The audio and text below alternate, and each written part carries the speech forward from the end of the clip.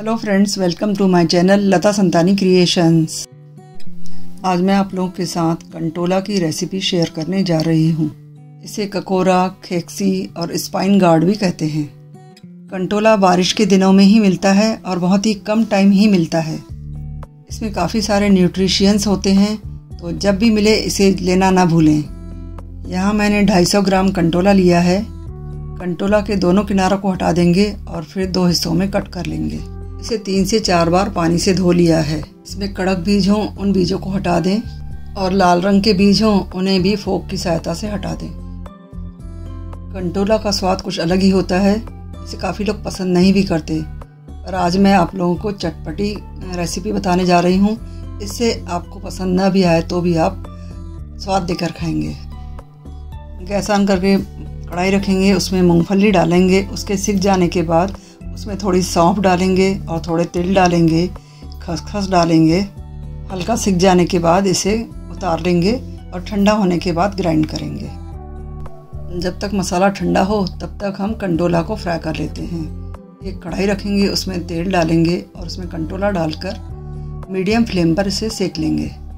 बीच बीच में कंटोला को चलाते जाएँगे। मसाला ठंडा हो गया है। अब इसे ग्राइंड करेंगे ग्राइंडर जार में इसे डालेंगे और एक चम्मच गुड़ डालेंगे, एक चम्मच रोस्टेड जीरा पाउडर डालेंगे वन स्पून लाल मिर्च पाउडर डालेंगे और हाफ़ स्पून हल्दी पाउडर डालेंगे। दो स्पून सूखा धनिया पाउडर डालेंगे और थोड़ा सा गरम मसाला डालेंगे। इन सबको ग्राइंड कर लेंगे। अब चलिए चलते हैं कंटोला की ओर। कंटोला फ्राई हो रहे हैं। लगभग सात से आठ मिनट में कंटोला अच्छी तरह से फ्राई हो गए हैं। एक बार इन्हें चेक कर लेते हैं, गले हैं या नहीं। अच्छी तरह से कट हो रहे हैं, इसका मतलब ये गल गए हैं, अब इसे निकाल लेंगे। अब बचे हुए तेल में राई डालनी है और राई के चटकने पर दो टमाटर की प्यूरी डालनी है।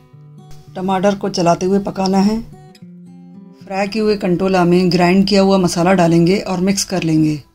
और जो मसाला बच जाएगा, उसे हम आगे यूज़ करेंगे। ड्राई रोस्ट करके, मसाला ग्राइंड करके जो हमने मिक्स मसाला डाला है, इस मसाले से ही कंटोला का टेस्ट बढ़ जाता है। टमाटर अच्छी तरह से पक गया है। देखिए, तेल छूटने लगा है। अब इसमें स्वाद अनुसार नमक डालेंगे और बचा हुआ मसाला डाल देंगे और इसे मिक्स करते हुए चलाएँगे। मसाला अच्छी तरह से मिक्स हो गया है और तेल भी अलग सेपरेट होने लगा है। अब इसमें कंटोला मिक्स कर लेंगे।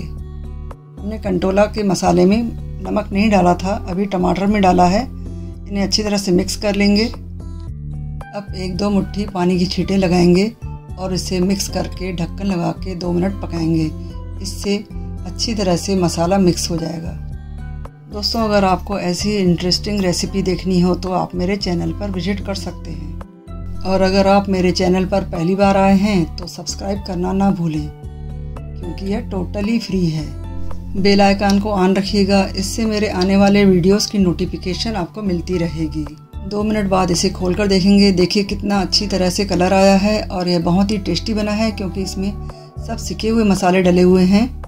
इसे आप नान, चपाती या पराठे के साथ गर्मा गर्म सर्व करें। एक बार इसे ज़रूर ट्राई करके देखें। आपका कंटोला का रेसिपी कैसा बना, कमेंट करके बताइएगा। मिलते हैं नेक्स्ट वीडियो में। तब तक के लिए take care bye bye thanks for watching